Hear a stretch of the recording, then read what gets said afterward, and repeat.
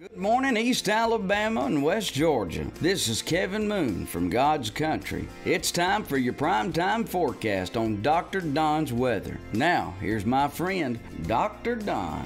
Good morning, East Alabama and West Georgia. Time now for your primetime forecast for Wednesday, September 28th, 2022. We're going to show you where Hurricane Ian is this morning as he makes his final approach to southwest Florida as a major catastrophic hurricane this morning. Sad, sad news uh, for folks down there in southwest Florida. We'll let you know what kind of effects we expect across East Alabama and West Georgia as the storm continues to move off to the north. We'll take a look at your Friday night high school football forecast, and uh, yeah, we'll give you um, a good idea of what you can expect over the weekend. Coming up in this morning's edition of your prime time forecast from the Alfa Weather Center. Jamie Dukus, your local Alfa agent. Be sure you click that link at the top of this video so that you become eligible to win some great prizes from Dr. Don's Weather. All right, so the 14th annual Fall on Main Street in downtown Roanoke. Uh, been in contact with Miss Dorothy Tidwell uh, with the Randolph County Chamber of Commerce. We're talking about uh, weather conditions and decisions are going to be made this morning on this year's event that's going to be taking place in downtown Roanoke uh, starting Saturday morning. Uh, my recommendation is going to be to carry on with the festival. Um, it's going to be a little breezy, and there could be a few scattered showers around, but uh, overall, the storm is going to be moving far enough to the east where we're not really looking at any major effects across East Alabama and West Georgia. Again, now it's going to be windy and breezy from time to time, um, and so uh, that decision will be made uh, later on this morning. We'll let you know about it here tomorrow morning on Dr. Don's Weather. Now, the bad news to that is um, my studios are in Northeast Georgia, and you, most of you uh, that know me know that that's where I live, and I'm an emergency manager up here. And the storm, uh, it has been pushed a little bit further to the east than the last time we talked, but it's still going to be close enough to my area of responsibility up here in Northeast Georgia uh, to where at this point it doesn't look like the Dr. Don Roadshow is going to be able to be with you on Saturday in Roanoke.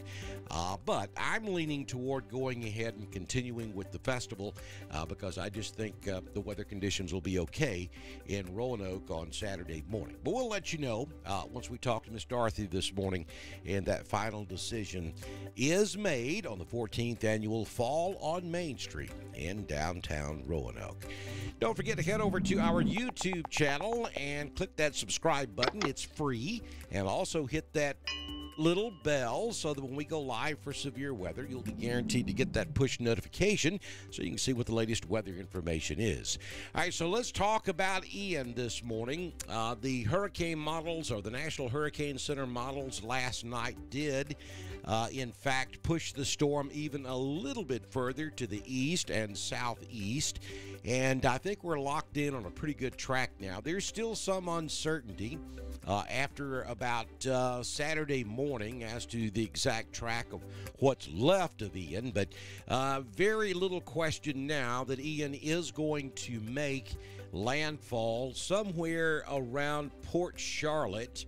Uh, just north of uh, Cape Coral and just south of Sarasota, Florida, as a major Category 4 hurricane. And we're talking about sustained winds uh, in this storm uh, approaching 144 miles per hour at landfall. That will cause catastrophic wind damage. Uh, and we're talking uh, unprecedented uh, storm surge, and just about everything in its path will be leveled uh, with sustained winds of around 144 miles per hour. So, uh, hope that everyone has evacuated from that area. And I hope uh, those who, who have had to stay that work in emergency services are hunkered down. Uh, landfall will be later on today, probably sometime afternoon. Uh, and then the storm is expected to weaken rather quickly uh, and then move right across central Florida to near Orlando and then reemerge over the Atlantic Ocean just off the coast of Jacksonville and then skirt the Georgia coast and then potentially making a second landfall as a tropical storm near Tybee Island or Hilton Head, um, Tybee Island, Georgia, or Hilton Head, South Carolina. And then pretty much running right up the Georgia South Carolina state line there in western South Carolina, uh, ending up maybe somewhere up in uh, northern North Carolina, extreme northeastern Tennessee by 2 a.m. Sunday. Now, that cone of uncertainty, that's just telling you that the center of circulation could track anywhere within that area, uh, still covers northeast Georgia. Uh, so, for those of you up here in northeast Georgia who follow Dr. Don's weather, yeah, we can't let our guard down just yet. We're awfully concerned about gradient winds up here in northeast Georgia. You'll remember Hurricane Irma several years ago. That's what ended up happening. Uh, and uh, we're concerned that that could happen again. Not necessarily a direct effect from the storm, but that gradient pressure between low pressure and high pressure could set up up here up to the backside of the Appalachian mountain chain. And uh, so we could have some significant winds up here uh, starting as soon as uh, maybe tomorrow morning and continuing into Thursday night and Friday as the storm passes to our east. We have a special uh, weather webinar at 12:30 today with the National Weather Service out of Peachtree City. We'll know much more after that, but uh, just stay uh, stay well advised of the latest weather forecast if you're up here in Northeast Georgia as we head uh, through the next 24 to 48 hours. So we'll look at the spaghetti models, and this is the latest from the National Hurricane Center. Uh, and you can see where all of the different models think this storm is going to go. Uh, most of them take it now into western South Carolina, making, again, landfall somewhere between Tybee and Hilton Head, and then coming right up the western side of the state of uh, South Carolina. Uh, I do want to go back to that last graphic and give you the current information on the storm. It's located at 25.6 north or 82.9 west. The maximum sustained winds at the moment are 140. We expect it to go to about 144 before making landfall. Movement is to the north northeast at 10 miles per hour. It's moving very slow, and that's just horrible news for the folks down there in the southwest Florida uh, coastal areas because we're talking torrential rainfall. Some locations may get upwards of 25 inches of rain. Uh, storm surge 10 to 12 feet in the uh, Cape Coral area back up toward Port Charlotte and Sarasota uh, is just going to be devastating. And our thoughts and prayers uh, go out to everyone uh, that's left behind down there because it's going to be the next uh, 24 to 48 hours. Uh, is just going to be horrific down there in southwest Florida.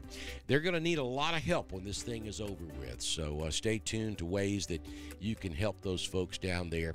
Uh, just devastating this morning on the southwest Florida coast.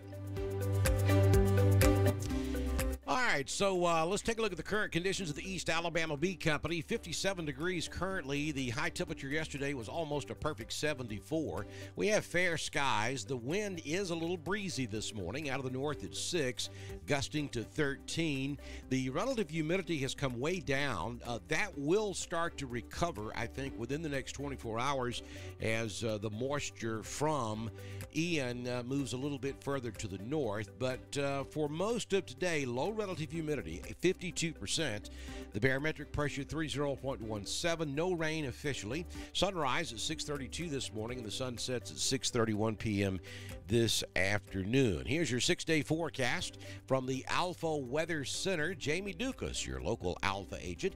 We have a red flag warning in effect for today for East Alabama and West Georgia.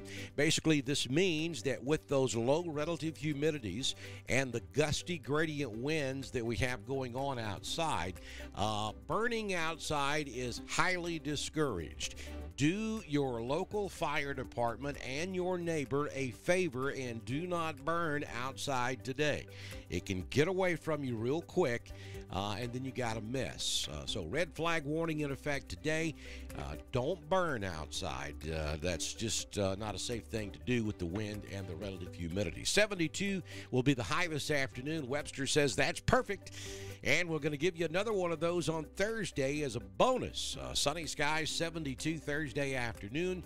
And then on Friday, we'll start to see a few clouds. Uh, it's going to be breezy. It'll be breezy and windy uh, today, tonight, tomorrow, probably Friday. Uh, the wind should start to relax a little bit by noon on Saturday.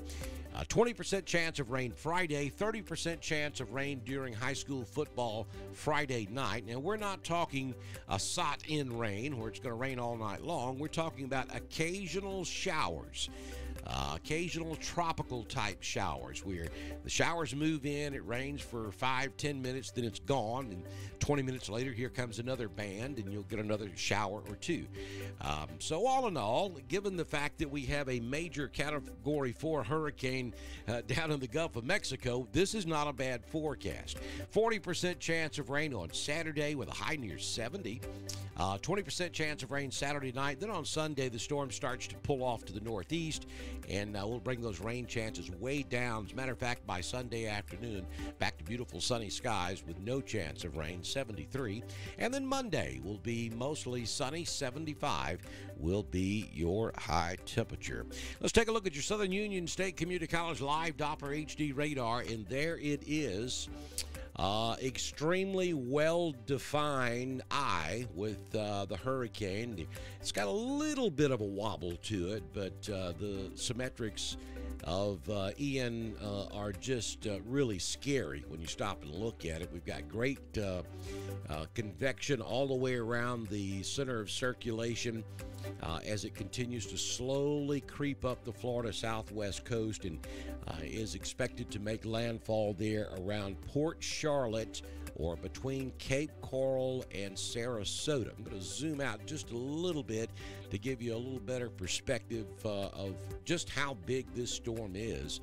Uh, we have uh, convection all the way out into the Atlantic uh, by about 100 miles, and then we go all the way back down to the center of circulation. So, as we often tell you, um, we, we see the worst weather on the right hand side of the storm.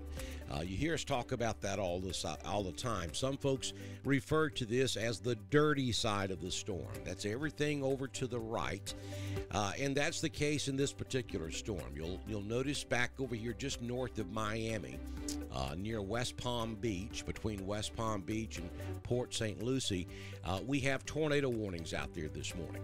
Uh, saw a lot of that last night. There's a good bit of damage uh, down around Fort Lauderdale and back towards Naples uh, from tornadoes that touched down down there last night. Well, now we're seeing that happen this morning around and just north of West Palm Beach. Uh, all those little uh, red uh, polygons you see pop up there are all tornado warnings. Uh, what happens these storms come to the north, and then as the storm starts pulling them back to the left, uh, you start to get that twisting in the storms, so you get that rotation that starts happening as the storms get into that right front quadrant of the storm and start to get pulled back to the left. Uh, and so there you are. We're seeing that happen this morning. So tornadoes are a threat across central Florida today. Uh, then the storm will come in, make landfall, and continue to the northeast near Winter Haven, Florida. Uh, it's going to come very close to Orlando. Uh, this would be uh, later on today into tomorrow morning. Uh, then back out into the Atlantic just off of the St. Augustine coast.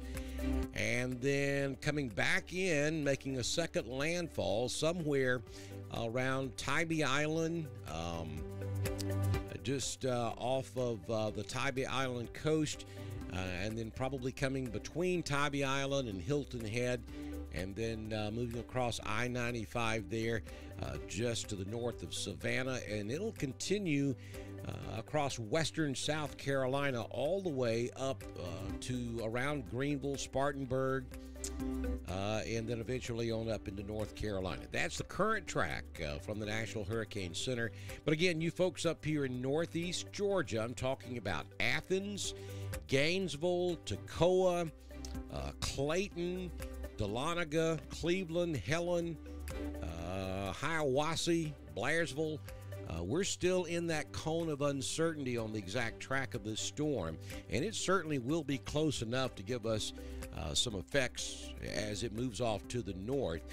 And we're still concerned about the possibility of gradient winds setting up on the backside of the mountain chain up here, too. So we'll know more about that later today when we finish our briefing with the National Hurricane Center and the Weather Service. But just a mess out there this morning. I think the storm stays far enough away, though, that East Alabama and West Georgia shouldn't see major impacts from the storm, though it will be breezy with occasional rain showers across the region. Don't forget to follow us over on Twitter. It's at DSTREN1040. We broadcast all of our weather information on Twitter, just as we do on Facebook, YouTube, and at DrDonWX.com. Don't forget you can catch my daily weather forecast over on God's Country and the classic 89.7 East Alabama's classic Rock Giant. Good Lord willing, and the creek don't rise. We'll see you back in your first thing tomorrow morning with the latest on Ian and your weekend weather forecast. Dr. Don's Way.